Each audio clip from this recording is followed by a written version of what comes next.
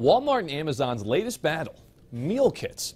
Amazon rolled out the quick prep meals last year, and while Walmart initially only offered the service at 250 stores, it has announced that shoppers will be able to buy meal kits at more than 2,000 locations later this year.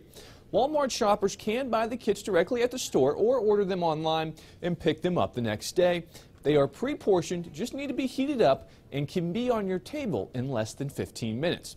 They feed two people and prices range from 8 to $15. Walmart is also offering more meal delivery kits and specialty food items on its website. Matt Yurus for CBS 11 News.